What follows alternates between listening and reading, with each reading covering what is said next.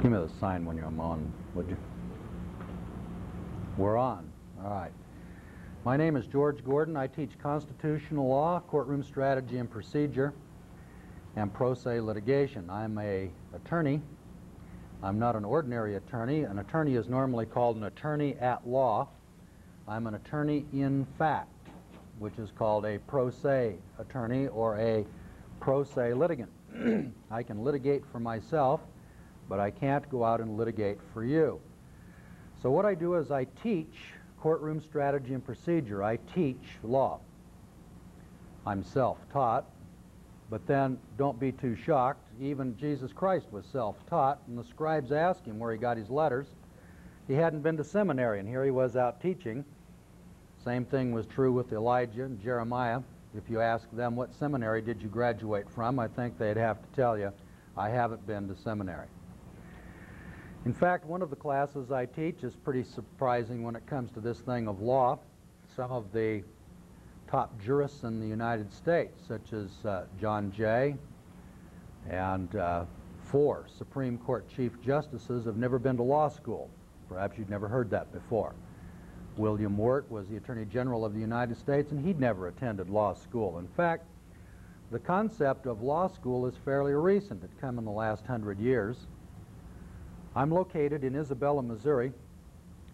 I'm on the north shore of Lake Bull Shoals, so if you want to write to me or if you want to come to school, we're located at Post Office Box 297 in Isabella, Missouri, and the zip code is 65676, and my phone number is 417-273-4967. So if you want to catch that again, it's 417-273-4967. Now today is called a seminar. I have put on videotape and audio tape many hundreds of hours of material. My basic school is 120 hours. And then I have three other schools, the ultimate law, the rest of the story, and the penalties, which deal with the thing called the common law. Where does law originate? What's the basis of law? And why does it impact or affect you? Why are you affected and impacted by the laws of Colorado or the United States or Canada or the United Nations or somebody else? What brought that power upon you? Well, there's a logical and systematic answer, and so I'm going to answer that question for you today and show you where the origin of law uh, comes from, or what the origin of law is, and why it impacts upon you, and how it works. Some of you will be surprised, some of you will be angered, but then don't get mad at me. I'm just the messenger. I'm the guy that comes along and says, this is the way the law works. Here's the way the system has been set up. If you're dissatisfied with it, you'll have to go to the lawmaker and have it changed. So as I tell people very uh, systematically, I don't make any laws and I don't make any rules.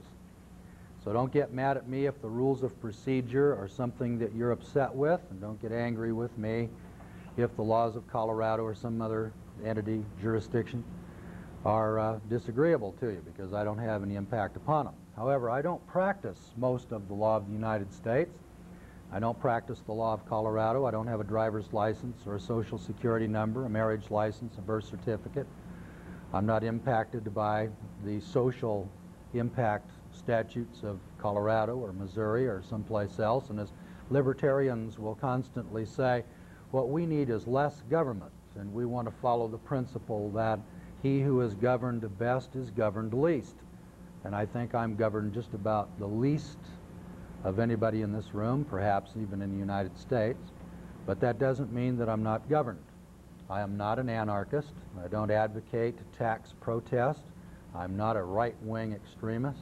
I don't even vote. I don't know why people call me some of these terms like uh, anarchist, tax protester, or a right-wing extremist because I don't vote. I can't hold public office.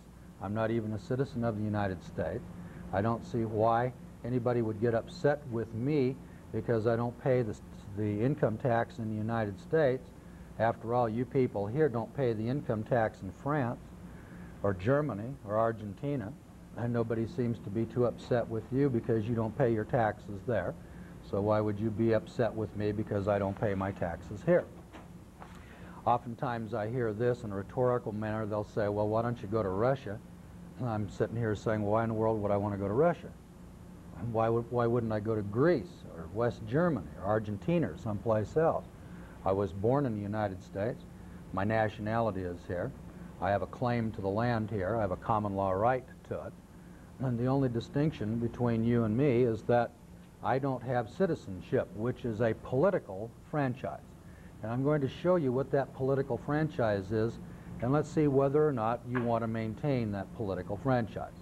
Now there's a little introduction as to who and what I am and what I do. Now let's take a look at the basis of law. I'm going to go to the board and I'm going to show you something about the law that perhaps you've never been told before. It's my contention that every seventh grader should be started with the basis of law and probably international law, and then we'll come down to the laws of your country and then the laws of your state so that you can better understand what the requirements are of your citizenship, if in fact you want to be a citizen of Colorado. But they don't do that. They do send you to the public schools, and they do tell you something about government, but they don't teach you about the law. They teach you civics and government. They teach you how to vote, teach you how to register, fill out a checking account, fill out a check. They'll tell you some of the, the more salient points of uh, citizenship, but they don't teach you about the law and the requirements under the law. And there's an important reason for that. If at any time you people understood the law, you probably would use the law to expatriate yourself from your government so that you were no longer subject to its dictates and its terms and conditions. Now, law is divided into two forms, and it's been this way as long as mankind has been on the planet. There are two forms of law. Let's take a look at what they are. What we practice today is called the civil law. The only other form is called the common law. The common law is very ancient and started approximately 1487 BC. A fellow by the name of Moses brought this law down off the mountain at Mount Sinai. This law here is very ancient also. It has its roots in the law of Hammurabi. This is called Hammurabi's Code, and it got its start at approximately the Tower of Babel and depending upon who you want to listen to, around 2000 BC. Now, while this law was codified in its present form in 1487 BC, the law of Moses was existent long before that. It got its start over here at the Garden of Eden. Ussher tells us that's around 4004 BC. You know, give or take 20 years or so, it's not that important. So the more ancient of the two laws is the common law, and the common law has gone through a number of transformations through the ages. Now, I'm not going to document all of my positions today. I want to point out that in many of my tutoring classes, this is book one of the, of the tax class, in which I'll document and show you the historical documentation for my statements, but obviously in a seminar, I simply don't have the time to sit here and make the citations and give you the bibliography, although in my classes. I'll give you the complete bibliography and show you how this can be documented. Now, when a fellow by the name of Samuel, about 1100 BC, was the last judge in Israel, you'll read about this in 1 Samuel 8 the people came to him and they said, listen, Sam, we've had it with you and we've had it with this government and with this law. We're tired of it. And what we want is a king like all the nations around us. This is very reminiscent of what Paul Warburg was telling us in 1909 when he came over here from the Rothschilds in, uh, in England. And uh, the Rothschilds are based in Germany, but the Bank of England is the Rothschild Bank. And I think Paul Warburg was the front man. He came over to the United States and says, what you people need here in the United States is a central bank like all the nations of Europe, which is exactly what happened here in this uh, history of the common law. They came to Samuel and said, we want a king. Now, under this law, the Mosaic law, these people had no Congress. They had no city councils or mayors. They had no policemen. They had a different system of government and administration. It doesn't, doesn't mean that they didn't have a law. They had a complete law. There are 759 statutes, judgments, and commandments in the law. but they didn't have any policemen to enforce or to administer the law. And they didn't have any Congress sitting over here to enact some new round of legislation, some new tariff or treaties or sales tax or income tax or anything else. They had a tax called a tithe, and it supported the Levitical priesthood, and the Levites conducted the postal service and the, and the civil service, but this was a unique form of law. But for whatever reason, the people said, we don't want it. And so the Creator said, well, don't let me get in your way. So he told Samuel, you go over and tell these people now when they change their law, they're going to change their God at the same time. And the people said, well, we're not going to hear of that and we're going to have a king. So he said, all right, we'll give you a king. We'll give you some champion. Some guy that's six foot 19 and rides a big white horse. Some guy you can look up to and ride around in parades and throw ticker tape around, go to war and have all these, these great glories and honors. And so they changed their law. Well, when they changed their law, they created a monarch. And as an operation of law, the monarch is the sovereign. The monarch is the lawmaker. Now, anytime you have a monarch or a lawmaker, you have the makings here of a dictator. Some kings are good, and some kings are bad, and some are mediocre. Now, when you go to England, you're looking at a monarchical form of government over there in which there's only one sovereign, and her name is Elizabeth. Everybody else there is a subject. Everybody else in England is a citizen, a chattel property of the monarch. So you only had an opportunity to be the chattel property of the Creator God or the chattel property over here of the king. Now from these monarchs over here we've had a plethora of evolutionary process in the governmental apparatus. Now the people come along one day and they said, well listen, this king over here he goes from generation to generation, and sometimes the son of the king is a bad guy. So in the United States, we've evolved a new concept. We're going to elect our king. So we have what we call a president. But it doesn't make any difference what you call him. The fellow sits in the seat of power and he makes law. So we have a lawmaking forum over here. We have a king called President Bush, and he proposes the law, and we go to the representatives and the representatives, who are our guardians, and go into the halls of Congress and they enact legislation. If you've ever had a part in the legislative process, you know that legislation is not enacted or is it created nor is it suggested by the people.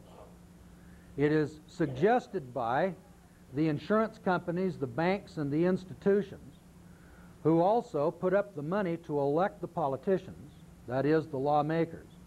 And you have nothing to say about it one way or the other. And if you think that's untrue, take a look at your seatbelt law or your compulsory insurance law and then ask yourself how many of you people went to your lawmaker and said, what we need in the state of Colorado is a seatbelt law. How many of you did that? Oh, you didn't. You do have a seatbelt law here, don't you? Yeah, uh-huh. I know, because we had one up in Idaho. So I can tell you from personal experience, I worked in the legislature for six years. And when the seatbelt law came up in Idaho to show you how your system works over here, in case you thought that you had some input into the lawmaking process, which you don't, I said, well, this is the way America works. This is America, the land of the free, the home of the brave. You know, I've been to the public school system, and I know how law is made because I went to the 10th grade, and I read the book.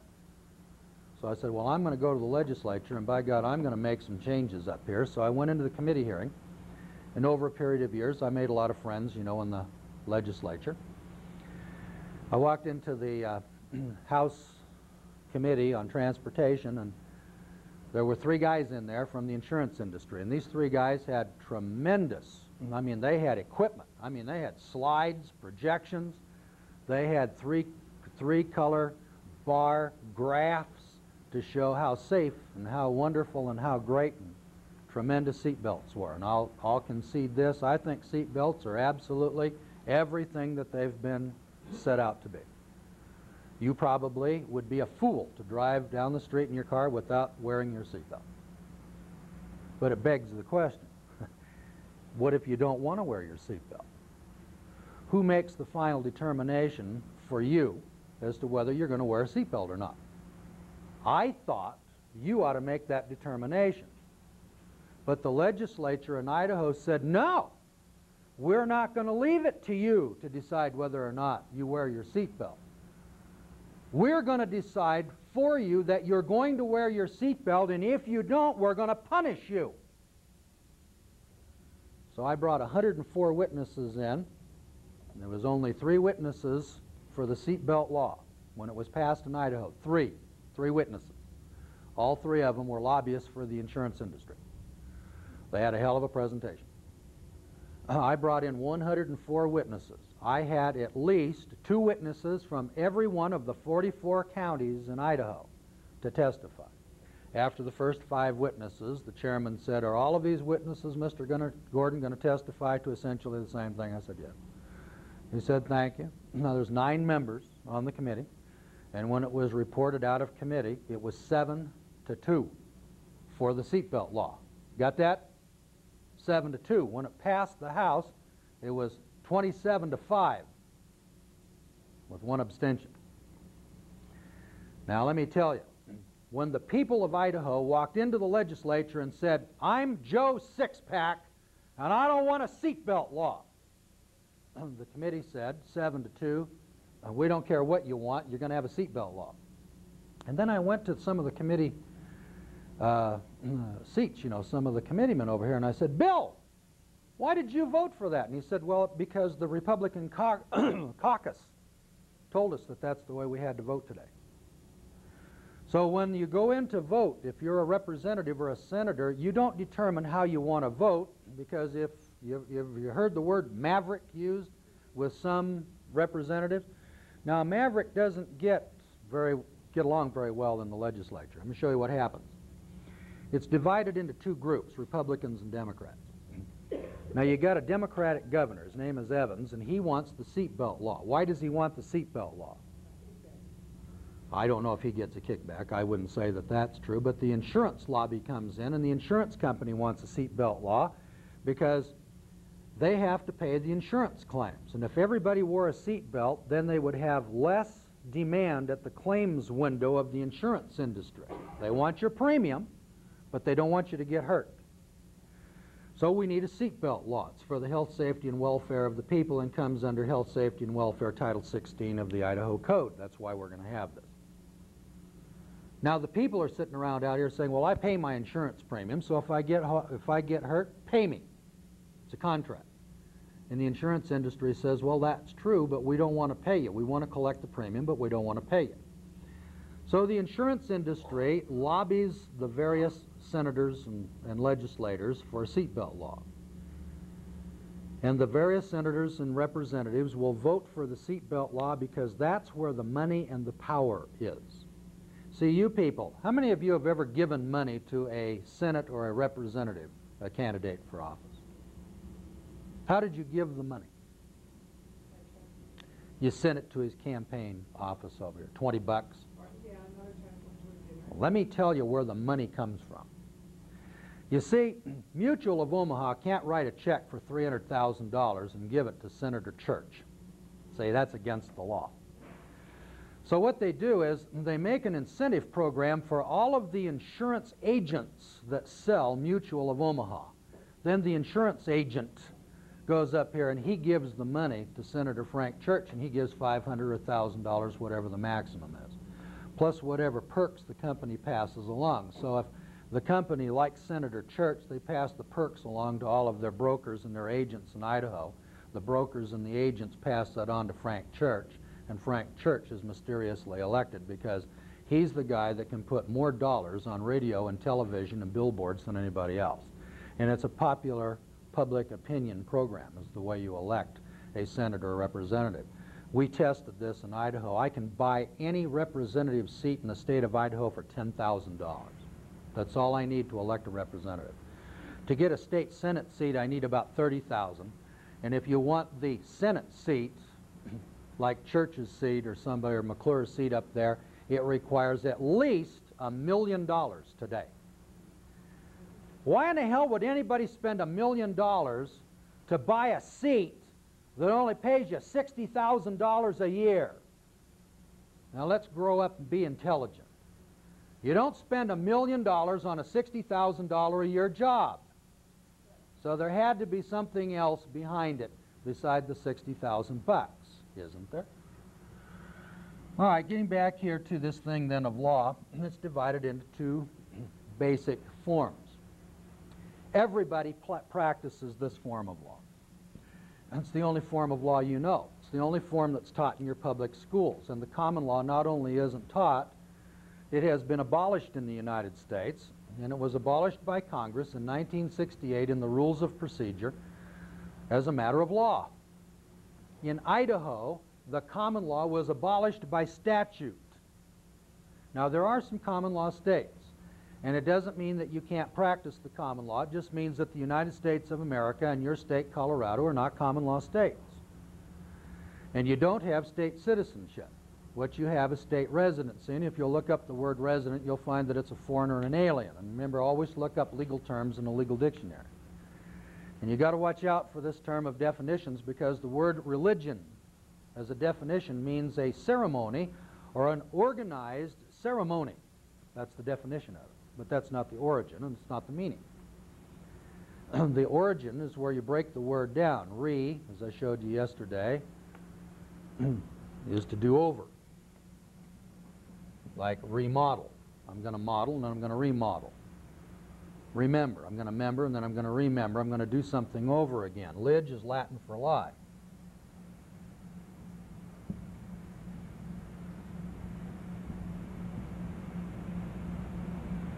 So re is to do over, lig is a lie, and ION means to do it among us.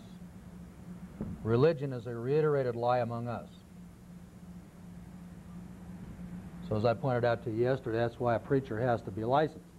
It's against the law to lie. So he has to have a license to reiterate a lie among us, such as Christmas. Everybody knows Christmas is not the birthday of the Messiah. And so every year you practice Christmas, which is a reiterated lie among us every year. All right, so now you know. All right, so the common law then is a form of law that came to us from some place. Now let's take a look at where did it come from. Well, the common law was abolished with Samuel. But they didn't abolish the law per se, they just abolished the practice of the law in their political organizations, it's like we've done today. The common law isn't abolished, you can go practice it. It's just that the state of Colorado won't practice it, nor will they recognize you if you practice it. For instance, a common law marriage. You go out here and you say to your girl, your girlfriend, let's get married, and she says, well, yes, let's get married, and well, now what are we going to do? Well, let's consummate the marriage with penetration, which is what marriage is. It's an agreement with penetration. And penetration then is the consummation of the marriage. Wait a minute. If you look up the definition of the word consummate, it means to bind up or to do away with, to terminate, to cancel. But isn't that the beginning of the marriage? I mean, isn't this the honeymoon? See, we don't pay attention to the definitions and the meanings of words. To consummate the marriage means to consummate the contract. It comes from the old common law in which we were dealing with patriarchal marriage. That is, the marriage in a patriarchal family isn't a contract between the boy and the girl, who are the parties to the marriage. It's a contract between the principals, which is the father of the bride and the bridegroom. And so when the marriage took place, the contract was terminated, which meant to consummate the marriage. The marriage is the agreement of the principals that a marriage will take place. When the marriage finally takes place, the contract is fulfilled, isn't it? The marriage begins with the consummation of the marriage contract, which was a contract between the principals, not the parties. But see, we don't do that anymore, do we? See, the boy goes out and proposes to the girl, and they run off on a Hollywood-type marriage escapade, and they eliminate the family from the marriage. Now, in order for them to do that, it was a violation of the common law because the woman had no capacity to enter into the contract, and so now we have to have a methodology for her to break the law, so we create what's called a license. which is permission to do something that's illegal, unlawful, a tort, or trespass. So it's the civil law state that gave you ladies capacity. You never got it here from the common law because the common law never gave you any capacity. Now, in case you thought that the state was your best friend, you want to take a look at this concept of the guardian ward relationship as it relates to children because you know typically when you ladies have a baby you say well this is my baby this is my child. But it isn't. And neither the civil nor the common law will give you ladies the capacity to own your children. Either your husband's going to own the child or the state's going to own the child but you're never going to own the child. And there isn't any country in the world that will give you that capacity in some countries, it's worse than others. You know, there's the way the game is played. Now, beginning back here with 1 Samuel 8, about 1100 BC, the next time we see the common law come into fruition is about 500 BC with a guy named Molmutius. And this law was passed on down from generation to generation till about, I think it was 872 uh, AD, with a guy named uh, Alfred the Great. This is where Alfred comes in. Then about 1215, you remember the famous Magna Carta.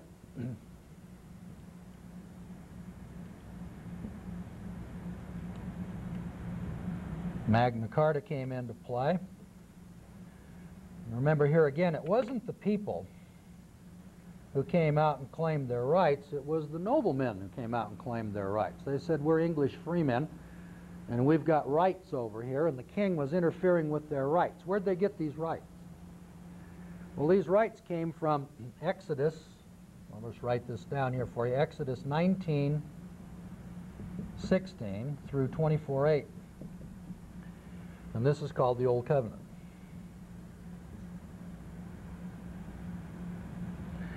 This old covenant over here was codified by Alfred the Great in 872 AD, and this is the basis of Anglo-Saxon administration.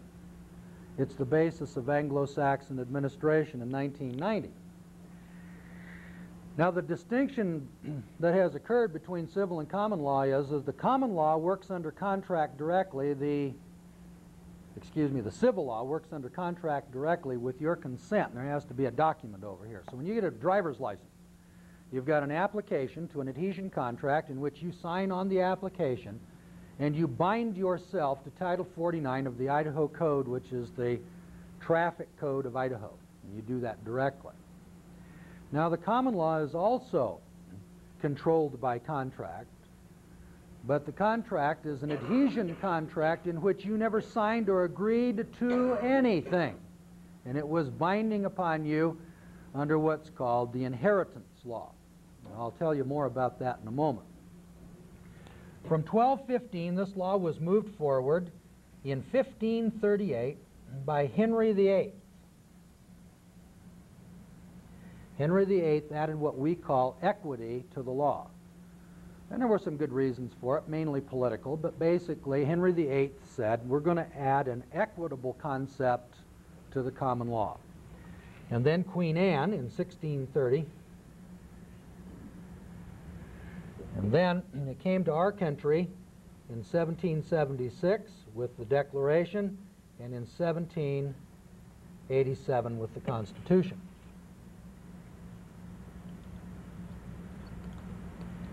I won't belabor the subject, but let's take a look at uh, Article 1, Section 10, where the clause says, No state shall make anything but gold or silver coin a tender in payment of debt is an extrapolation from Leviticus 19, 35 and 36, which says you shall not have an unjust weight or balance in your bag. And as you go through the Constitution, you will find that there are probably 25 or 30 of these principles of law, especially in the Bill of Rights, which come from the Old Covenant of Moses. In other words, the basis of Anglo-Saxon administration comes from the Law of Moses. We call it the Law of England or the English Common Law, and it was Lord Blackstone in 1757 who published Blackstone's Commentaries. and set out the basis of the English common law. It was as it was used in English uh, in England and in the United States. It was Kent's commentaries that extrapolate Blackstone's commentaries for use in the United States. Now, this probably is new to most of you, and you never heard this concept of law before, but then this is the basis of what we call Anglo-Saxon administration. You were born here in the United States. You never subscribed to this law. You didn't go to the legislature and tell them, this is what I want to practice, this is the way I want the law codified. You were born into a ready-made society, and this is the way the law was already set up. So if you're looking at the law of real estate and adverse possession, the concept of adverse possession comes from the law of Moses pursuant to the land law that says, you shall not remove your neighbor's landmark. Because at the common law, there's no such thing as absentee ownership. Because at the common law, there's no such thing as ownership of land. And that's because there's a collateral estoppel to owning land in Leviticus 25:23 that says the land shall not be sold forever because the land is mine. So somebody by the name of God, as we commonly call them, under the common law, the law of Moses says the land shall not be bought or sold forever because I own it. It's mine. The earth is my footstool and you can't have it. So the civil law comes along and says, well, how are we going to make profit and gain off of a commodity that everybody wants unless we can buy it and sell it? So we've got to have real estate law, don't we? You see why you have to license a real estate broker? It's against the law to sell land. So you have to license the broker to commit an act which is otherwise a tort or trespass. So the concept of adverse possession is simply if you're not the owner in possession, then I'm going to come along and adversely possess it and become the new title holder. Take a look at an automobile title when you go home tonight. Who owns your automobiles? Anybody in here know? State owns your automobile. Take a look at the word title. Title isn't ownership. And you don't have the title, you have a certificate of title. Take a look at it. They're not lying to you. It says right at the top, certificate of title. It tells you there's a title holder someplace. You, went, you made the assumption that you were the title holder because you're holding a piece of paper that says certificate of title. You're not the owner, and you're not the title holder. But you've got a piece of paper that tells you that there is a creature like that someplace, but you don't know where because nobody's explained it to you. Same thing is true with an abstract on land. You're sitting on the land, but you pay a property tax, and the property tax is the prima facie evidence that you're paying rent to somebody. If you're paying rent to somebody, then it's the prima facie evidence that you don't own it. Now, you may not know who owns it, but you ought to know who doesn't own it the next time you pay your property tax. That's just the way the law works. All right, with that little bit of basis over here, now let's take a look at the concept of law itself. Law is really a very cut and dried black and white concept. It's been told to me over the years that the law is really gray. Can't know what it is. Well, that's not true. That's what's been sold to us, but that isn't quite correct. It's good for business to tell you that the law is gray, and of course, if the law is gray, then your conduct can be excused and you can do some things that you might think or that might actually be illegal or unlawful, but you can justify it by saying, well, I really didn't know. And there's an old concept that says ignorance of the law is no excuse, but that's a misnomer. Ignorance of the law is an affirmative defense. It may not be an excuse, but it's an affirmative defense because crime requires two elements. That is, you have to have intent to go along with the act. But you don't need any intent with a license. When you get a license, it's the prima facie evidence that you intended to break the law. That's why you went out and got the license. Otherwise, you wouldn't need one, would you? So if you were going to get a broker's license to sell real estate, don't you think you ought to ask the state this question? What law is it that I'm in the process of breaking or that I seek to break for which I need this license? I think the lady behind the counter looked at you like you were Mork from Ork. Because in our society, a license is a badge of honor. I remember when I first got my driver's license, it means that I've arrived. It means that I can reach the pedals and see over the steering wheel. but I never asked the question beyond why do I need this? And the lady told me you need this because we want to show that you're competent to drive. That is, your feet reach the pedals and that you can see over the steering wheel. Let's take a look at civil again. The civil law works upon these four elements. First of all, you've got a constitution. The constitution then is supported by or construed by statute. The statute over here has to be enforced by a judgment. And then this judgment over here has to have a penalty. Now, you know that's about the way it works. The Constitution provides for driver's licenses. The statute enacts the driver's license code. The judge tells you that you're driving without a license and invokes a penalty and tells you you got to pay him a $100 fine. Well, the common law works the same way.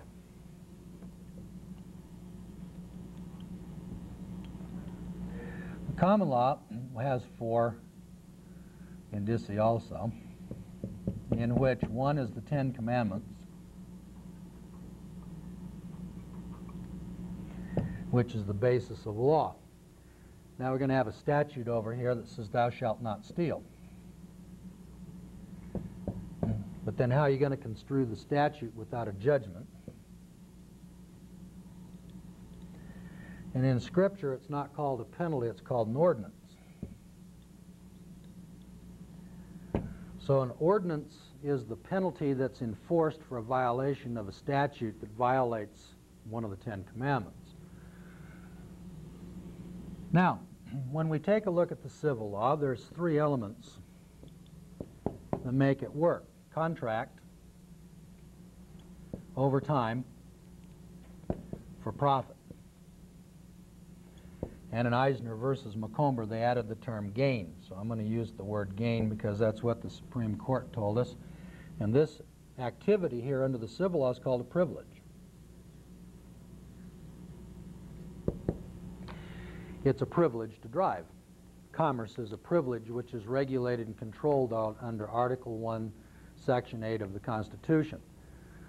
So you have a Constitution construed by statute, enforced by judgment, which has penalties based upon a contract over time for profit and gain and is a privilege. Now, the common law is predicated upon three elements, which is land, labor, and substance. And these are guaranteed as a matter of right, and they're called inalienable rights. And this is why the, the boys at Runnymede got a little upset. See, the civil law had uh, interfered with their rights of an Englishman, the rights of a free man. And so they took King John out there on the plains and they said, let me tell you, or let us explain to you how this game is going to be played, or we're going to we're going to select a new king. And John saw the point of their their spears and their swords, and he said, By God, I think you boys are right. We need a little change here in the law. These rights over here, which are called inalienable rights, come from the Creator God. They don't come from the state. They've already been guaranteed you as a matter of birthright. And that's where the term birthright comes from. It's a right by birth. Now, you all know who the next king of England's going to be, don't you? Is there any doubt in anybody's mind as to how the election's going to come out? Hell, we all knew Charlie was the next king in 1948, didn't we? We just didn't know when. We just knew who he's going to be. All right, now once we got the basis of this concept of law down over here, now you can see why it is that a lot of these tax protesters are a little bit in conflict with the law. Now, I'm not a Christian, and I'm not here to promote uh, religious philosophy one way or the other. I know that 95% of the people in this room are Christians, and I don't want to offend you. And I don't want you to think that I'm down on Christians or anything, or Muslims or Buddhists or anything else. But remember, I'm a, an instructor in law, and I'd be doing a disservice over here if I brought the Bible into the room as a basis of law And you'd all say, well, this guy must be a preacher. Oh, no, I'm not a preacher. I'm not even a Christian. I don't get involved in religion one way or the other. But remember, the Bible now, or the Scriptures, is the basis of Anglo-Saxon administration. So how are we going to use the Bible on the courtroom floor? I do it very effectively.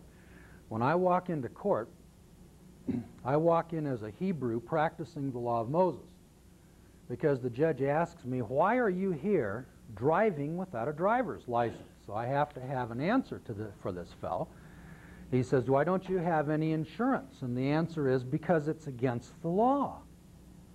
And he says, well, that's preposterous. The law of Colorado, I think you do have this here. Doesn't the law of Colorado require all you people to have driver's licenses, registration, and insurance? Yep. I don't have those. I'm driving around on your streets here. But I'm not in violation of any law. Now, you people in Colorado have a God here. You reach in your back pocket and pull out your driver's license, and it will identify who your sovereign, who your lawmaker is. And your signature on that license and on the application is the prima facie evidence that you have contracted with this sovereign lawmaker of Colorado and you agreed to obey all the laws, rules, statutes, and judgments of this sovereign entity called Colorado. Didn't you all do that? All right. Well, then, don't you think you ought to fulfill and uphold the terms of your contracts? Don't you think you, if you said you would do something, you ought to do that? You ever heard that concept? Concept that a man's word is his bond? Well, that comes from Numbers 30, verse 2. For a man's word is his bond. What proceeds out of your mouth shall not return again. But I've never made any contract with this God, this sovereign power of Colorado. I don't have any contract with him. I never agreed that I would that I would obey any of his laws or statutes. Now you come along and you say, well, you have to agree. Why? Did you ever ask yourself that question? Why did you get a driver's license? You went down got a driver's license because somebody told you that something bad, wicked, terrible, awful, or evil was going to happen to you if you didn't do that. Didn't they? Did you ever test it to find out what kind of bad, wicked, terrible, awful, evil acts this, this sovereign was going to do to you if you didn't obey him? Nobody ever tested it, did they? What happened? Uh, they keep writing me tickets all the time. Do they do bad things to you? Yeah, lock me up in jail. Lock you up in jail and do all these bad things? they don't do that to me. Why? Something's different. So as I pointed out yesterday, let's take a look at what Colorado is.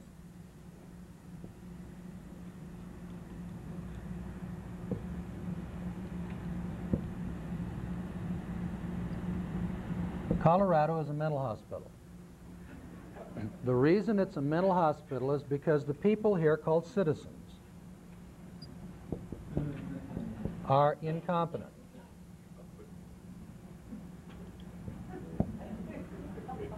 As an operation of law. Excuse me, don't you have representatives over here in the legislature? Aren't those representatives elected by citizens? Can a non-citizen vote for a representative? What is a representative? He's a guardian. You got it. Well, a guardian has a ward. A citizen is a ward or an incompetent. Now, you don't have to be mentally incompetent to have a guardian. All you have to do is to decide that you're incapable of managing your own political affairs. And since you're incapable of managing your own political affairs, you elect someone to go manage your political affairs for you. But I'm not incompetent. I can manage all of my own political affairs, and I don't need a representative. That's why I don't need this mental hospital called Colorado. So I'm going to practice a different law, a different political regime, a different political methodology for accomplishing those things that I want accomplished in a political sphere. Colorado is organized as a corporation. In fact, Colorado is a municipal corporation which is organized under a master holding company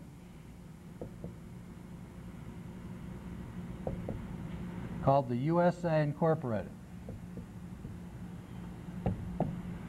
And you have a governor, and this governor over here is the warden.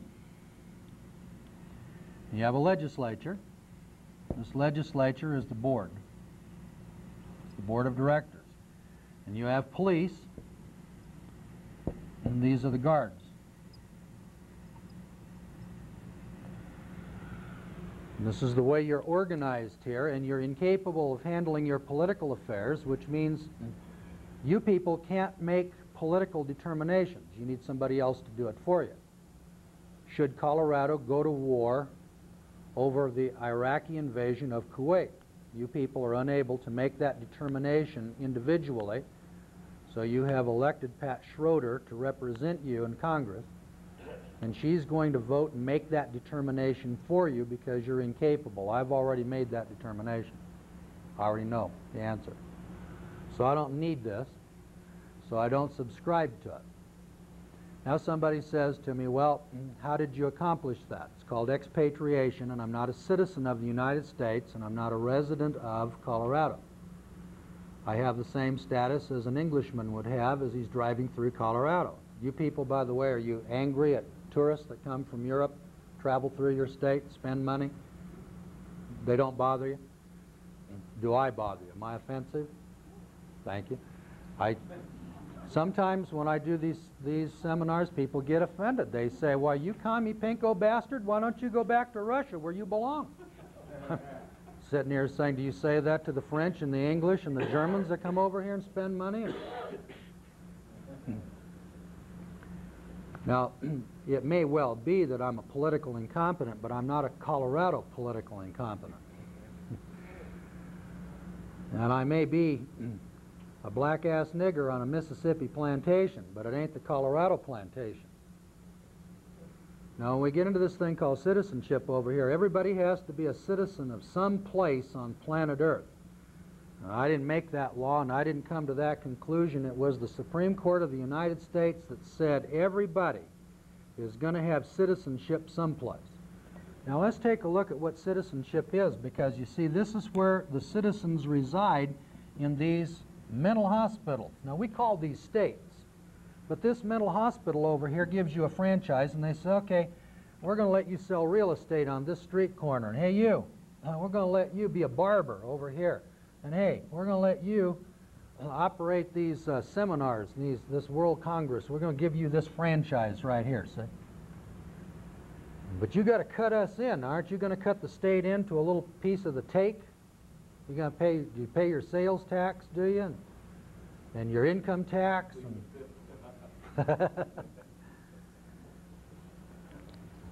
Well, don't you think that it's right for a mental patient in a mental hospital to obey the words of his guardian, the guard? Where do you think the word guard came from? Guardian. I mean, hell, man, just pay attention to the language. Nobody's lying to you. governor? What's a governor? Isn't a governor a throttle?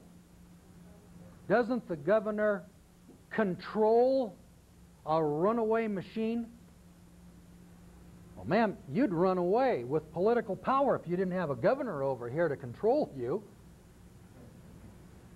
He who is governed best is governed least, but the guy that's governed least has to govern himself. You know, if I couldn't govern myself, I would need a governor. But I can govern myself, so I don't need a governor to do it for me. And I don't need a guard. because I don't need to be guardianed. I can guardian myself. Now, this legislature over here is what makes the rules. They make the laws for all of these citizens, these inmates. Well, if I subscribed to somebody else's law, then I wouldn't need your legislature to make law for me, would I? In other words, if you come from Missouri, you see, then you're in the Missouri mental hospital. And you people out here in Colorado are not subject to the laws of the Missouri Mental Hospital or the California Mental Hospital or the Argentine Mental Hospital and so on down the line. Now, I am subject to a mental hospital someplace else. But everybody has the capacity to make the determination as to what mental hospital he wants to associate with. And this is called immigration or immigration. You know, you have a right to immigrate and emigrate. That's IM and EM.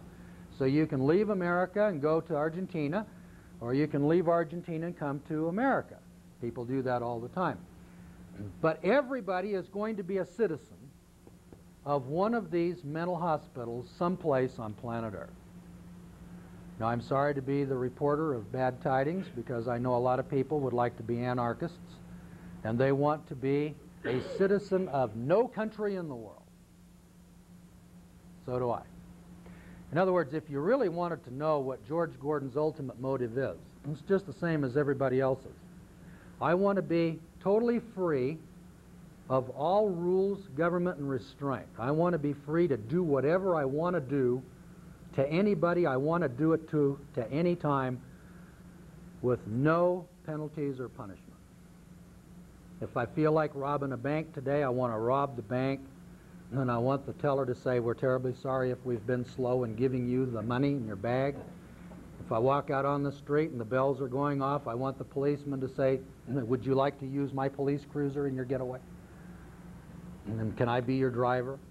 See, I don't want any repercussions. Now, that sounds kind of preposterous, but I think that's pretty much the way human nature is designed. In other words, we want the benefits from government, but we don't want to be constrained, do we? God, I'd like to have credit cards and checkbooks like everybody else, but I don't want to pay an income tax. Sounds kind of anarchical, doesn't it? Hey, listen, I want welfare, food stamps, aid to families with dependent children, public schools, but I don't want to pay for them, but I want you to pay for it, lady. Isn't that about what you're thinking?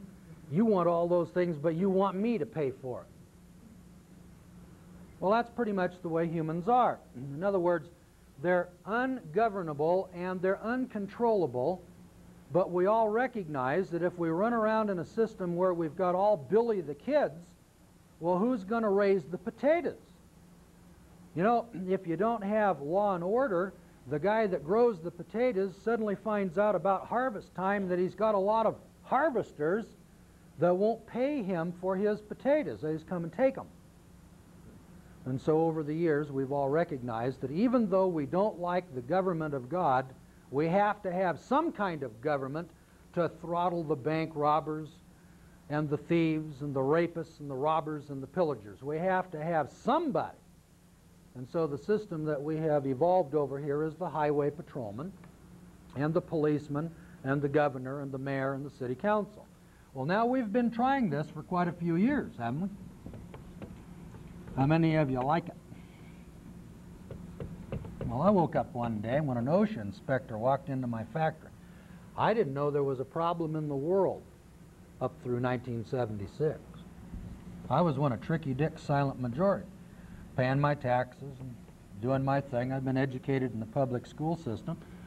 And they told me how everything is supposed to work, and I went out. I was a general contractor, plumbing contractor, uh, boiler and heater contractor. I mean, I had a lot of tickets in my pocket. I mean, I could line the wall up with all of my accomplishments in life. You could see my entire record. And one day this, this guy comes in and he says, I'm going to conduct a search. And I thought this guy was breaking the law, coming into my factory telling me he was going to search. I said, do you have a warrant? I didn't know anything about law, but I always knew you had to have a warrant if you're going to search. And this guy looked at me like I was stupid. he said, I don't need a warrant to conduct a routine search.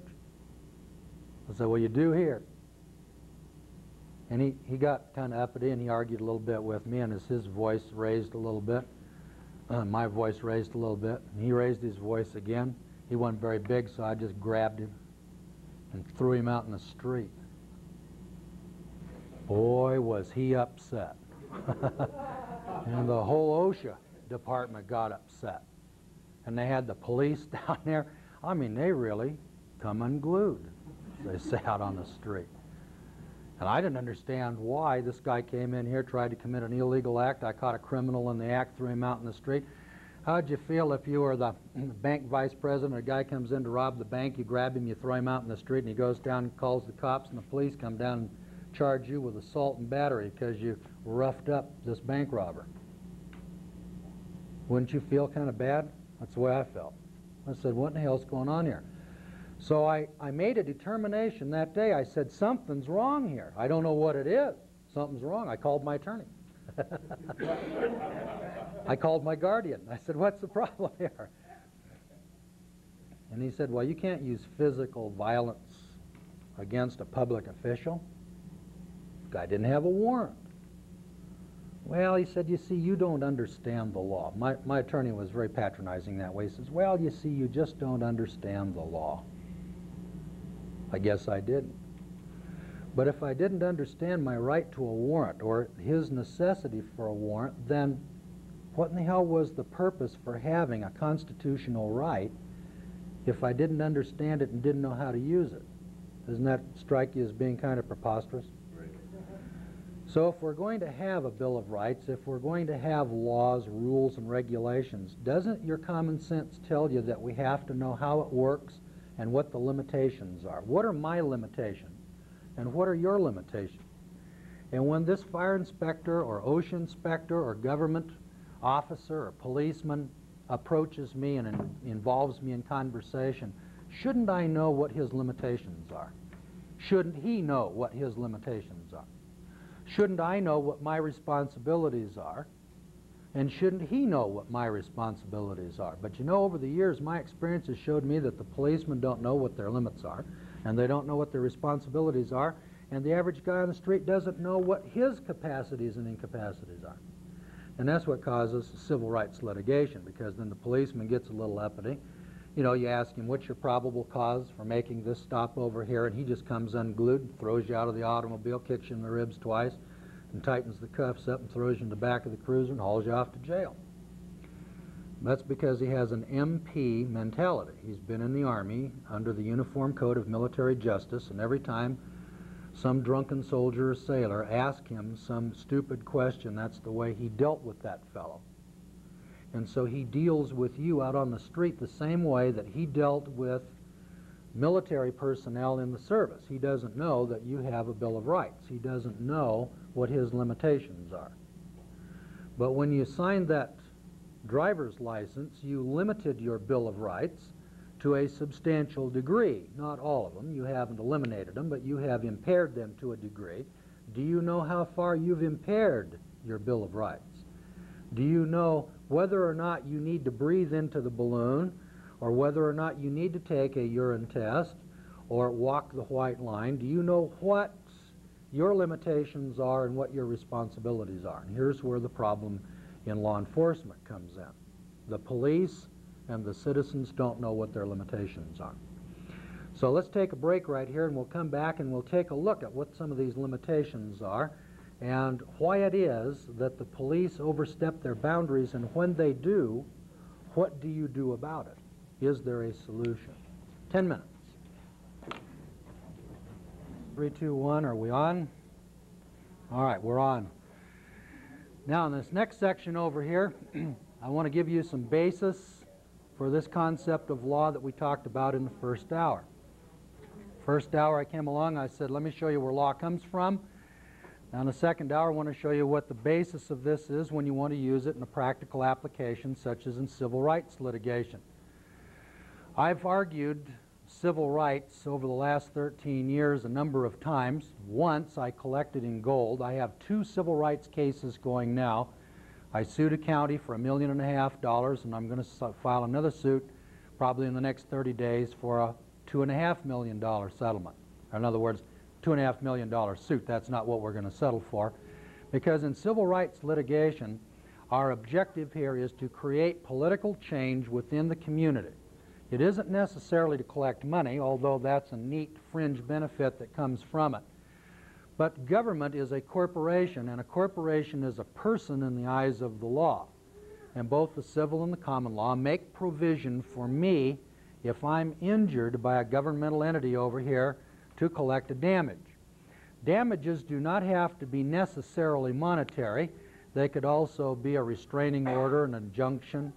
It could be some other form of compensation. It could be a change in, uh, in uh, police practice or routine. So let me give you a little story about what we did up in Idaho. In Boise, Idaho is the county seat of, the, of Ada County, which has the highest population, about 160,000 people. In 1983, they had $35 million worth of lawsuits brought against them. It put them about 100% higher than the national average. There are 3,500 counties in the United States, and all of those counties carry liability insurance. In other words, Mutual of Omaha indemnifies the victims of counties and the other municipal workers of the county when there's a damage done. So let's suppose that a county dump truck runs into your car. Well, the county has insurance. Let's suppose that a policeman causes you a damage by beating you up. He got his adrenaline flowing. Well, the county has insurance, and the county will pay for those damages. If you're in jail and you get sick, they'll send you to the hospital, and the county or its insurance carrier will pay the hospital bill. This is provided for under Title 42, Section 1983 of the Civil Rights Act of 1871. It was an act first passed in 1868 for the benefit of the newly freed slaves, the blacks in the rural South. There had to be a methodology for those people to obtain a remedy from counties and other municipal corporations in the South in, in the event that they suffered a damage. Now that law sat on the books with less than 100 cases per year litigated under that section of the law until 1961, when the blacks during the civil rights years of the 1960s began to use Title 42, Section 1983. As they began to use it until today, 1990, it's used approximately 30,000 times a year. Now get this, in 1955 there were 100 cases filed, but in 1985, the last year that I have any uh, direct numbers, there were 26,800 cases filed. And every year it grows by 1,000 to 2,000 cases a year. In other words, there are more and more people now finding that there was a remedy enacted by Congress in 1868, codified in 1871, which has been added to, such as the 1964 Civil Rights Act, which now protects women in employment and minorities and, and such other things as that. Until today, you have a very viable vehicle for gaining redress of grievance whether you're a denizen or a citizen, whether you're a citizen or an alien against municipal corporations in the United States. Now, over the last 13 years that I've been teaching Title 42, now I've collected one settlement. This is not my business in life to run out here suing and getting settlements because this case that I did took six years. And since 1985, I have 15 students who have sued successfully under this act and collected their damages. I'm going to tell you a couple of stories here so that you can see the relevance that fits in with it. This is one of the classes that I teach in my civil rights class at Isabella, Missouri. Now, for many of you, you may say, well, I don't want to sue the city of Denver or any municipal corporation or policeman. But someday you may want to. And if you ever want to, there are four key rules that you have to get over. It's Rule 7A, 8A2, 12B6, and Rule 56 in order for you to succeed. Now, I had breakfast this morning with a lady that said that she'd sued I'll write them down for you, ma'am. It's Rule 7A, 8A2, 12B6, and Rule 56. Now, I had breakfast this morning with the lady, and she mentioned that she had sued Pro Se and that she had forced the company that she worked for to settle with her out of court for a small amount of money and give her a letter of recommendation. Had she known how to use the Civil Rights Act, she probably could have settled for $50,000 and still gotten the same letter of recommendation had she known how to present this action. Whether or not you use the action, the mere fact that you know how to project your knowledge of the use of the action will oftentimes intimidate public officials into giving you the remedy that you want. For instance, when I go into my county recorder's office, or I want to talk to Billy Hamilton in the clerk's office, where I live in my local area, since I have brought a number of these suits in the past, they all know that if I walk in and say, I'm entitled to this and I want you to give it to me, if you don't give it to me, do you know what I'm going to do next, Mr. Hamilton? Well, Billy knows I'm going to sue him. And if I walk into my county recorder or anybody else in my public, uh, my county courthouse, and I say, I want this from you, I'm always careful never to ask anybody for something I'm not entitled to. But if I tell you, lady, this is what I want, and you don't give it to me, my next question is, what's your name and how do you spell it? Because my remedy comes from the federal district court. So what I'm going to do, no, nothing personal. Court is business. Nothing more, nothing less. It's a business forum. It's a business forum that has been created for us and for our benefit to effect a remedy when somebody who is supposed to do something for you refuses or does something to you that he's not supposed to do. Where am I going to get a remedy? If the policeman beats me up and leaves me unconscious alongside the road, who am I going to get to arrest him and charge him with assault? Another policeman? You see how preposterous this is? So the Civil Rights Act, in reality, is the citizen's methodology for riding herd over the bureaucracy. Anytime a public official has a duty to perform and refuses to perform it, and you say to him, You have a duty and I have a right. Now I'm here to demand my right based upon your duty. Give me what I'm entitled to. When he says, I won't do it, he just broke the law when a public official breaks the law, what do we do to get the redress of grievance? And the answer is we sue him under the Civil Rights Act. So let's suppose that you put me in jail. As I pointed out to you yesterday, there's a publication written by the Department of Justice called Federal Standards for Prisons and Jails. Well, I was in the Webster County Jail a couple of months ago and had an opportunity to bring federal standards for prisons and jails into the jailhouse scenario.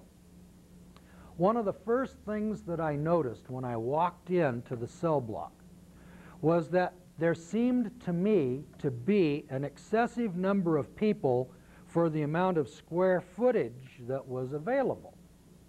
So I measured it off. You know, I, three, six, and all these prisoners are are looking at me as I looked around the room, counting one, two, three, four, nine, eleven, twelve. And I said, Has anybody got a pencil and a piece of paper? And the fir- what do you want it for? well, I want to find out whether or not this jail is in compliance with standard 12.631 of the Federal Standards for Prisons and Jails. It looks like we're overcrowded in here to me. You know, these guys are all standing around like, huh? Who is this klutz anyway? well, a guy gave me a piece of paper and I worked it out, and there, there seemed to be 26.82 square feet per prisoner.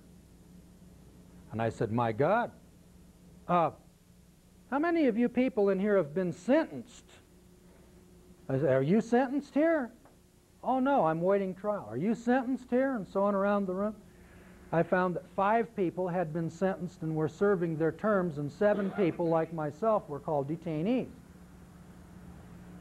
So I noted that down over here and I said, How long has this been going on? How long have you been here? You, you, you. I said, My God, there's crime going on right in front of your nose.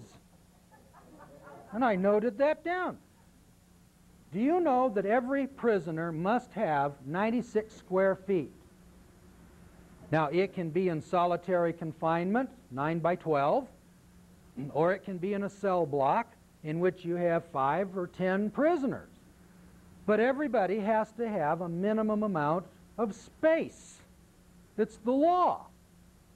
Now, it's true that most of these jails are overcrowded. And it's true that not very many suits are filed subject to overcrowding. But I'd like to point out that the entire penal system of Texas is being administered today by a federal judge. How many of you knew that? And the issue was overcrowding. So if you find yourself in a jail cell with less than 96 square feet, then we're overcrowded. Now we have to do something to alleviate the overcrowding. Now what do you do? Kick on the wall? No, all that's going to do is break your toes because the walls are concrete. I've tested them. Uh, let me tell you. Uh, what are you going to do? Shake the bars? Well, they won't open because I already tested those too, and you're not going to open them. So I said to this one fellow, I said, Do you have a pencil and paper that, that you could give me to write an administrative demand? Now, there's a couple, three guys standing around. I said, What's that? I said, Somebody needs to tell the sheriff that there's overcrowding going on. Somebody needs to tell the authorities that there's a crime going on here. Maybe they don't know. I don't know whether the sheriff knows there's a crime going on here or not. I need to tell him. And this is the first element in legal process. It's called administrative due process. So the first thing I have to do is write an administrative demand to the sheriff and tell him about a crime that's going on. And I should, if it's at all possible, tell him where that crime has been codified, whether it's in Title 12 of the state code. Now in California, well, in Idaho, I think it's Title 19. In California, I think it's Title 12. your state, Colorado, has a title in your revised statute concerning jails and prisons.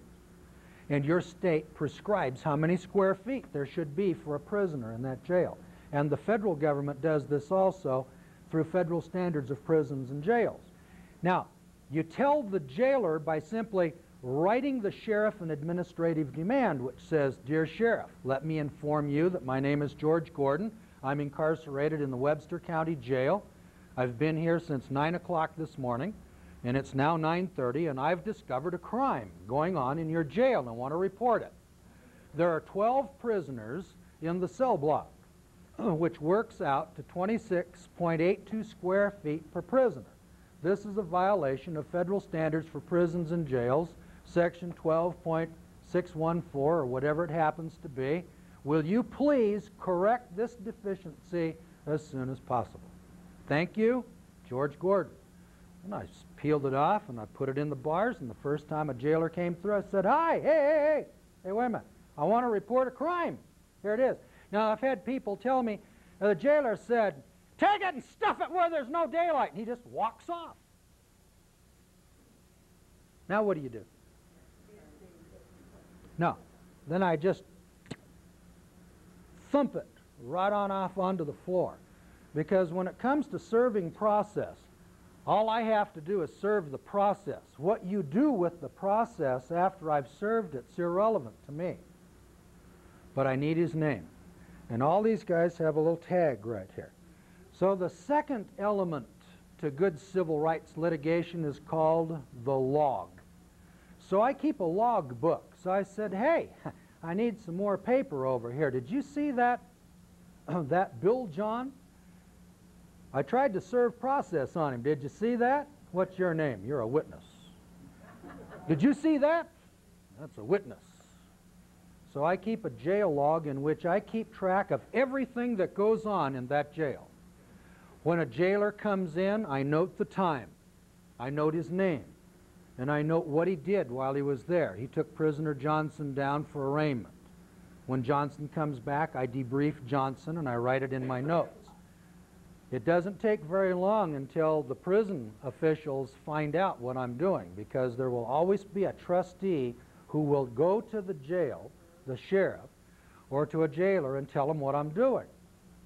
Then the sheriff came up and he said, What's going on here? I said, Going on? What does that mean?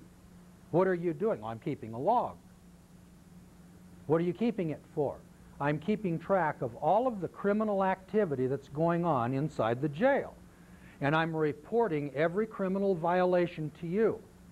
I reported one to you at 9:32 this morning to Officer Bill John.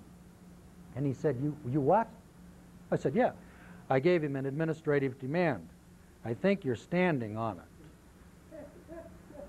Huh? What? What? See? Just blows them away. Uh, why are you doing that?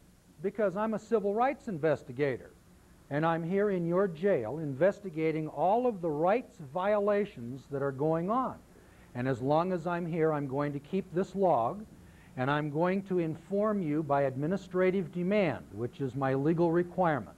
Every time I find a violation, I'm going to tell you, Sheriff, and then I want you to correct that violation because I have a right to due process and equal protection under the law.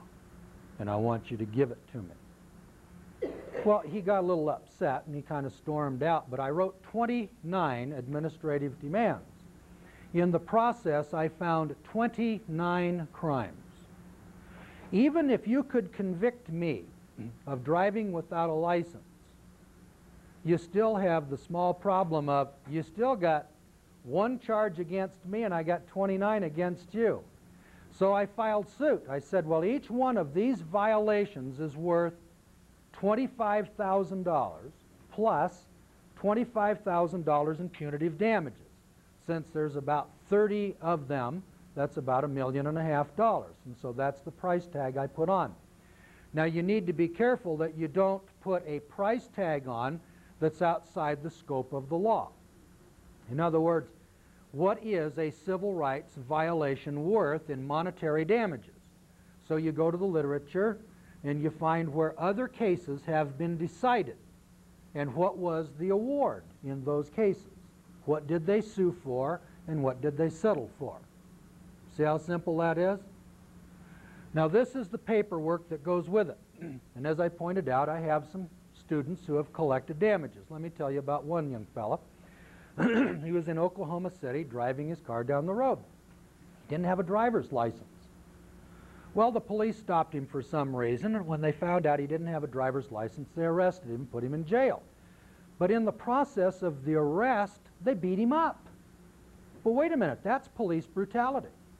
It's true that the policeman has a duty to arrest people without a driver's license.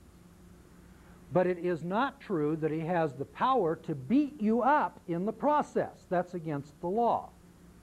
So the man sued for $500,000 or something on that order.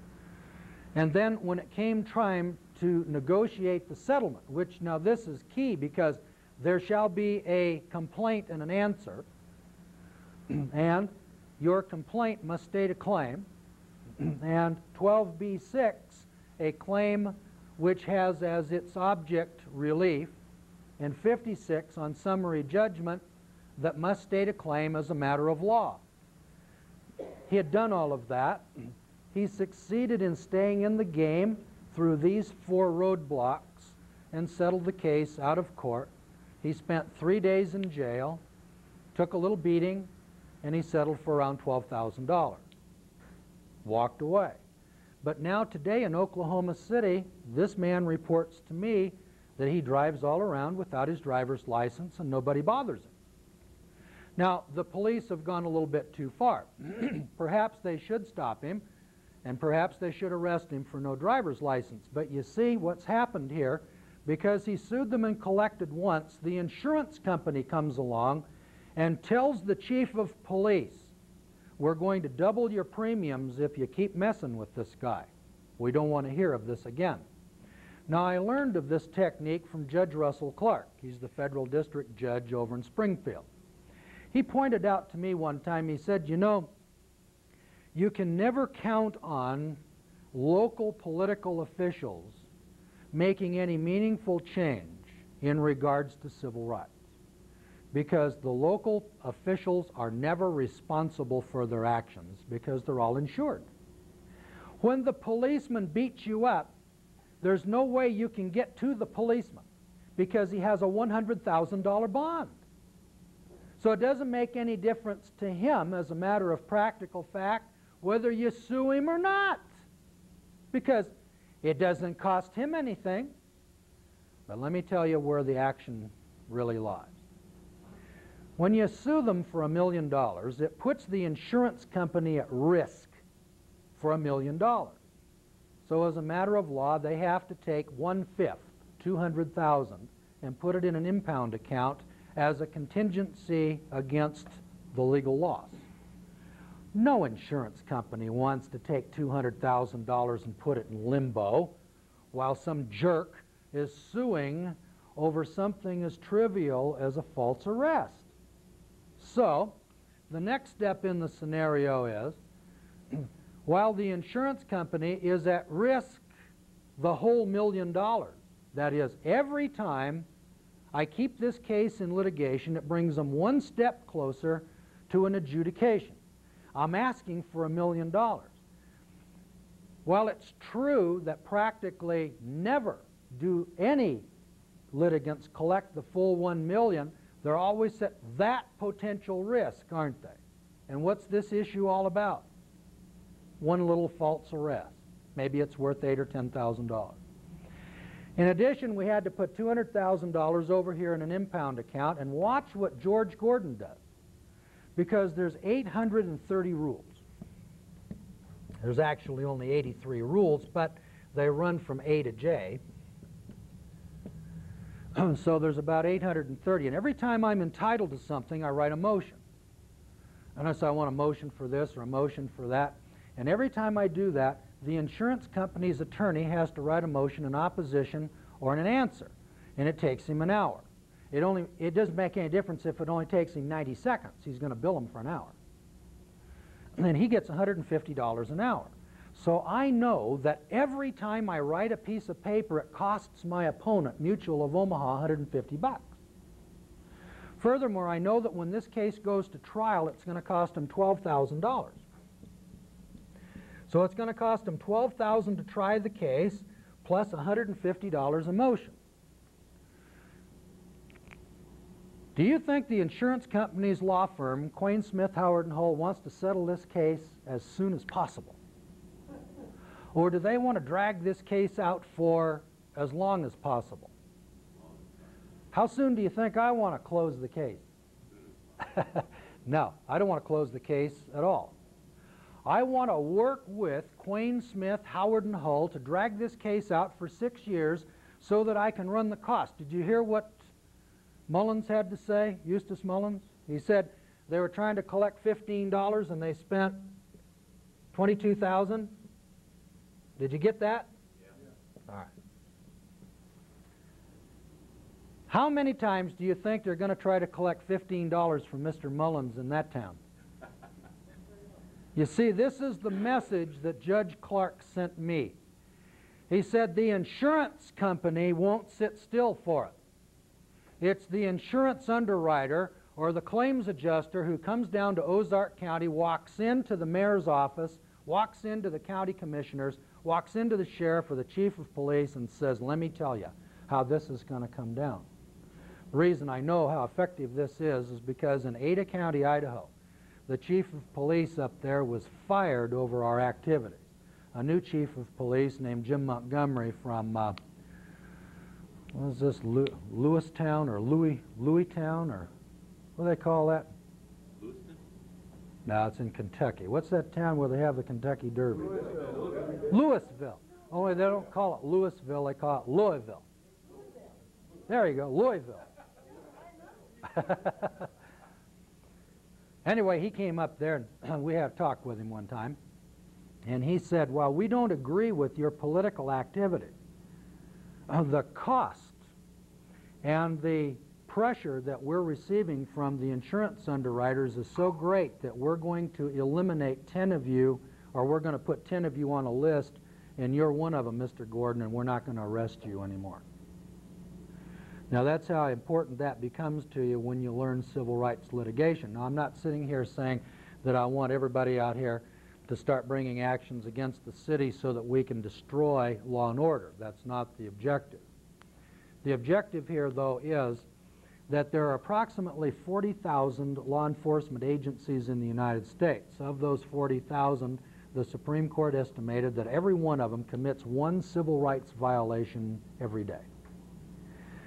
Now, in Los Angeles County, they kill 16 people on average per year in the Los Angeles City Jail.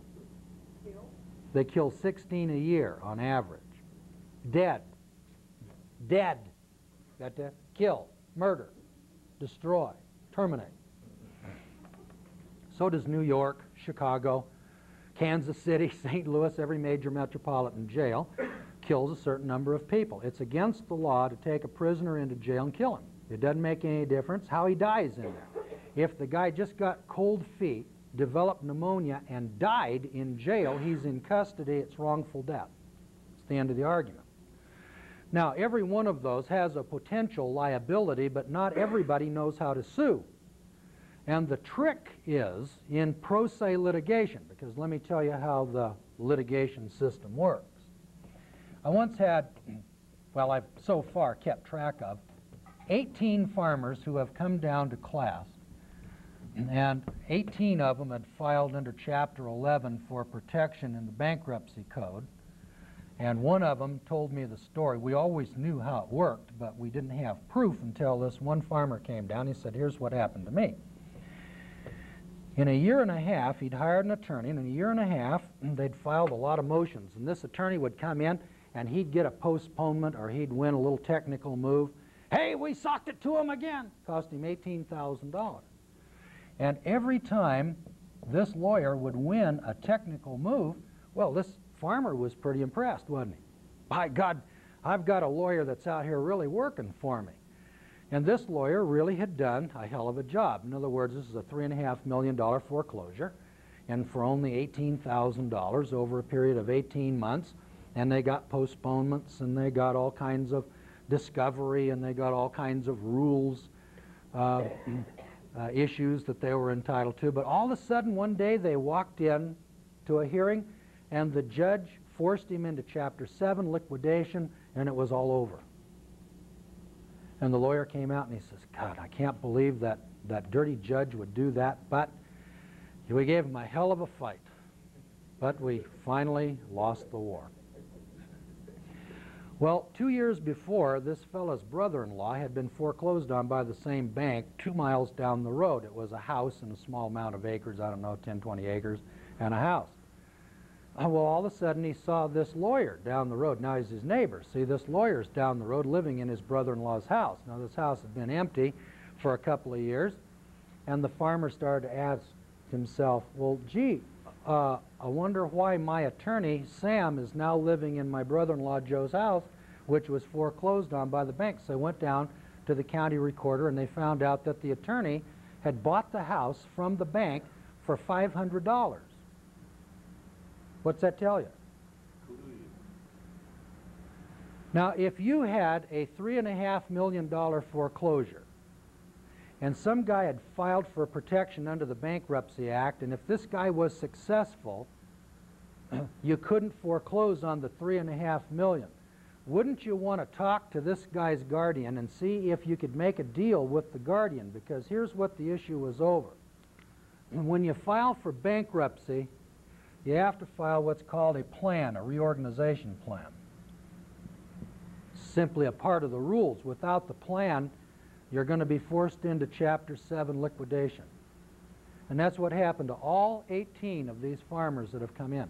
And every one of their attorneys told them, your creditors wouldn't accept the reorganization plan. Excuse me? What's the purpose for Chapter 11?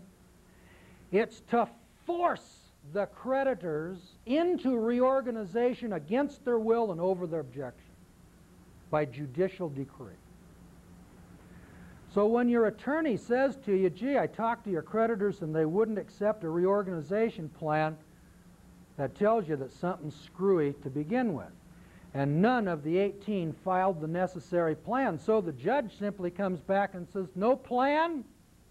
Liquidate. So they forced this guy into liquidation. if you were trying to collect three and a half million dollars, wouldn't you pay fifty or a hundred thousand dollars to your opponent's lawyer to accomplish your goal? See how simple that is? Goes on all the time. There's nothing illegal about this. If you could prove that there was collusion or that there was uh, uh, interplay of some kind, you could sue your attorney for malpractice. But how are you ever going to prove such a flimsy case? Because you see, it's all done above board. The lawyer walked into the bank, said, Hey, you got that piece of property over there. You've had it for two years. There's nothing you can do with it. I'll take it off your hands for 500 bucks. And the bank says, Yeah, it was a, it was a bad piece of property. We couldn't sell it. We tried to sell it. Finally, we just gave it to this lawyer because he wanted it for 500 bucks. And what are you going to prove? Now, remember, your attorney is a member of an exclusive club of 635,000 bar members. These people all belong to an exclusive union. Uh, you cannot get an attorney to sue another attorney because it's a violation of the ethics of the brotherhood. So if you said, my attorney is guilty of malpractice, and you went out and hired an attorney, your attorney would take your money and sue that attorney. And he'll jump up and down and rant and rave and paw the ground and bite the bushes and lose. Because that's the way the brotherhood works. Now, if you go in there pro se and sue an attorney, they can't throw you out of the Bar Association, you can't be disbarred, and you can't be punished for claiming a right. I could sue an attorney for malpractice. But how would I sue an attorney for malpractice when I wouldn't hire an attorney because I work pro se? So I'm never going to come up against that because it's a physical impossibility. So they're never going to get it from a pro se, and you could never get another attorney to prosecute another attorney because he'd be disbarred in short order. Let me tell you another story. I had a lady up in Ketchikan, Alaska.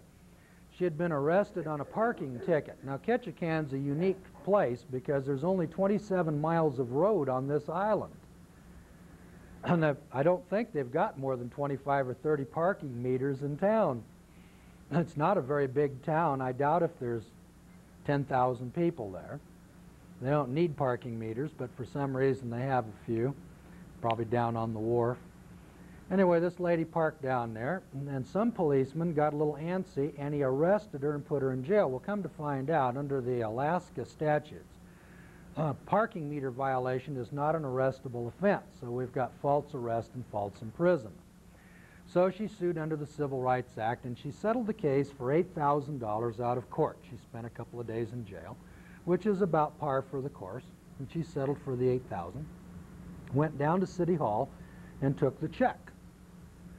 Well, it's a well-known fact that this lady doesn't have a driver's license, and so when she walked out of the of the uh, City Hall with the $8,000 check she got in her pickup, she's a fisher lady. She she catches salmon. She has a boat. she uh, gets in her pickup and she drives down to probably the only street light on the island. and the police surrounded her and arrested her for driving without a license and hauled her back to jail. Well, this lady had just been through my civil rights class about 30 days before. And during the class, of course, we talk about some of these live, on site opportunities that arise. Well, it happens that there's a law that requires when a woman is arrested that she be attended to by a matron. Now, it isn't true with you men. If you've got three women deputies who are going to attend you, that's not a violation of your rights. But if you're arrested, you can't have three male deputies attend to you. You have to have a matron. Well, in many of these small counties, like my county, for instance, they don't have any separate facilities for women. And they don't have matrons or dietitians, you know, these things that you have in Los Angeles and St. Louis. You just don't have in Ketchikan, Alaska. Well, they brought her in, and now the first thing they want to do is book you in, and they want you to put on the jail clothes. So they took this lady into a room and they said, Here's the jail clothes, put these on. And these two deputies walked out. Well, when they came back a few minutes later, she still hadn't put the clothes on. Well, now the deputy's duty is to get this woman dressed in her jail clothes so they can lock her up. And she's not dressed in her jail clothes. And she said, I'm not going to put these clothes on. Well, these two officers over here tried to cajole her and tried to rattle her and threaten her and one thing and another. And pretty soon, one of them comes over and he grabs her by the arm and she screams, No, no, don't rape me! And rips her blouse open and tears her bra off, crawls on the floor to the door to the booking area, stumbles out into the booking area in full view of five or six other deputies. Don't let them touch me again. They're trying to rape me. Now, about this time, these two guys look around. What's going on? How would you like to defend that? So they settled that one for 12000 out of court. Now, this lady is no longer accosted for driving without a license in Ketchikan, Alaska. Can you understand why? The maximum fine for driving without a lic- license is 50 bucks. And it cost the insurance company $12,000. Don't you suppose that somebody from Mutual of Omaha walked into the chief of police and said, Come over here and sit down and let me explain this to you? Suppose that's the way that came down? That's the way it works, and that's the way Judge Clark explained it to me. And that's the way the chief of police up in Boise explained it to me. See, the pressure that's brought to bear, it comes from the insurance company. It doesn't come from the, the chief of police because he loves the Constitution and he respects your rights. That is never going to happen. It's a matter of, and as I've pointed this out, as a matter of law. The law isn't blind. You know, we went to school and they taught us this symbol, justice is blind. And the law is equally applied to everyone. See how that works? Now, if you believe that, I have here this watch. and for only 1995, I will give you this 100 carat gold watch. now, obviously, there's some middle ground here that has some reason, logic, and common sense. Law and the judicial system is a business forum. If you wanted to settle an insurance claim and you walked into the insurance company and you go into the personnel department and you, I'm going to settle this claim. You owe me $100,000. What do you think personnel is going to say to you? I'm terribly sorry, you're in the wrong room. You need to go to the claims department. It's out here in the corridor to the left, third door on the right. And you say, I'm not going to claims. And if you don't settle this claim today, I'm going to sue you. What do you think your chances of winning the suit or of getting your claim settled? And this is the kind of insanity that goes on under the guise of pro se litigation and at-law actions and patriot litigation. The judicial system is a business forum, just like the insurance company. If you walk in there and you keep your head on straight, if you get into the wrong room and you ask politely, they'll say, oh, I'm terribly sorry, you're in the wrong room, this is personnel. If you'll go to claims, third door on the left, uh, think they can take care of you. Now you go down to claims and you say, hi, my name is George Gordon, I have a policy with your company, I have a claim and I'd like to file it. Somebody will pull out a piece of paper and they'll say, here, fill this form out and uh, let's see if we can process your claim. And if you do all of the things that you're supposed to do at some point in time, if your claim is reasonable and if your claim is approved, you'll get a check. And the same thing is true with the judicial system.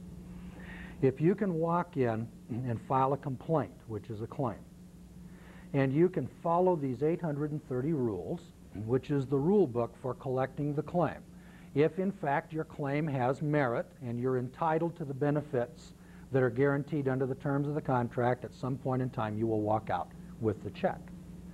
Now, I don't take checks. I take gold.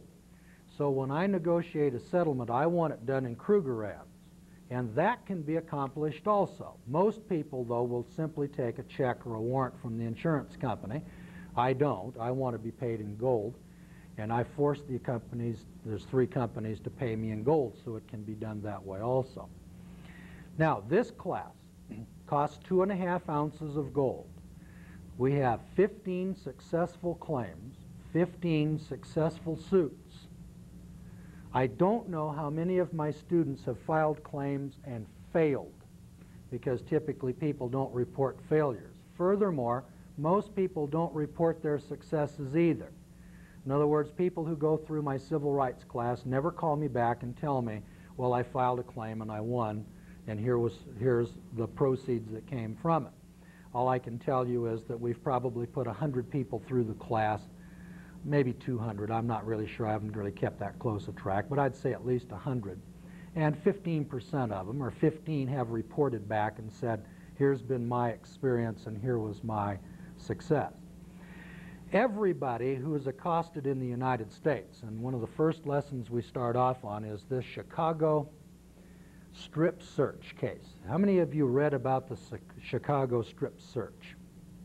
Well, between 1959 and 79, Cook County had a policy of strip searching women, arresting them, then strip searching them, and jailing them over anything.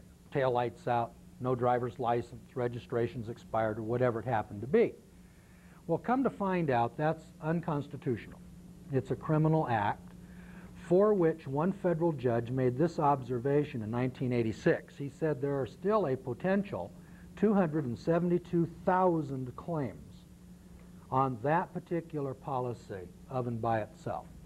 If every one of those women were to sue under the Civil Rights Act, they would bankrupt Cook County in the same way that the asbestos problem with Johns Manville bankrupted them. I want to read to you a little section here. I think it's, uh, yeah, the $112,000 award to a 38-year-old doctor who was strip searched by Chicago police in January of 78 is the largest of 11 verdicts that arose from a 1979 class action against the city with 25 more cases still to be tried in federal court. I, I, would say it need not be reiterated that this policy is no longer in force in Cook County. Now, it was for 20 years, and they had arrested 500,000 women in that 20-year period, of which 272,000 of them were still viable actions. So in the early days of the policy, they weren't arresting very many people, but within six years of 1979, that is between 1973 and 79, they'd arrested 272,000 women. Now, if each one of those sued for $1 million, the insurance company would be upside down overnight just putting up the 20% deposit. Secondly, not only would it change the policy in the city, it would also double or cancel their insurance. For instance, in Boise City, here's what we did. First of all, $35 million in suits put them at double the national average. The insurance underwriter went to them and talked to them and then finally canceled their insurance. Then the next company doubled their premiums, carried them for one year, and they canceled their policy, which brought in a third company which doubled their premiums again. And this all occurred in 1983, 84, and into 1985. Within, in less than 36 months, we had quadrupled the insurance premiums.